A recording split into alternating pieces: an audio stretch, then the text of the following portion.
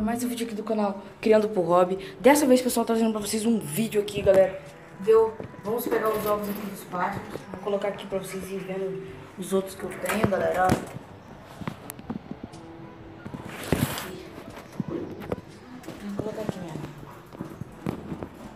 Ver não, galera. Deixa aí rapidinho, tá? E eu vou pegar aqui a gaiola pra mostrar pra vocês os ovos.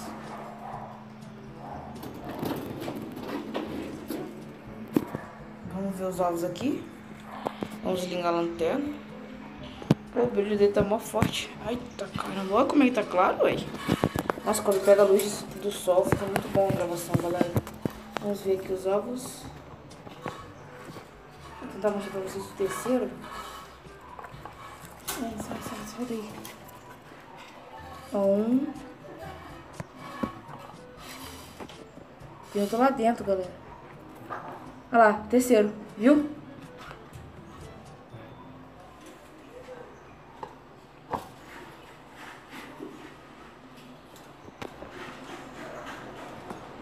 Quem viu, comenta aí, tá? Quero ver, mamãe. Ah lá, viram? Aí, o terceiro ovo dela.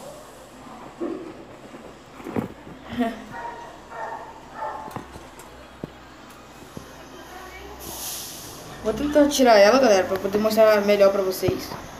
Tá? Aí, galera, os três ovos. Tá vendo? Eu acho que são três, não sei se tem mais. Ela vai puxar de novo pra barriga dela depois. Barriga dela não, pra baixo da barriga dela, né, galera? Então, o vídeo é bem curto, eu queria mesmo mostrar pra vocês mesmo.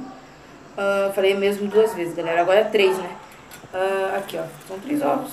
Eu creio eu que tem um quarto lá dentro. Mas já deu pra mostrar os três, então vou mostrar os outros passos que eu tenho pra vocês. Eu tenho esse casal. Que eu acabei de formar faz pouco tempo. E tenho esse alerquim. Que por ver nele é muito lindo. Olha como que ele é lindo. Aquele filhote ali um macho.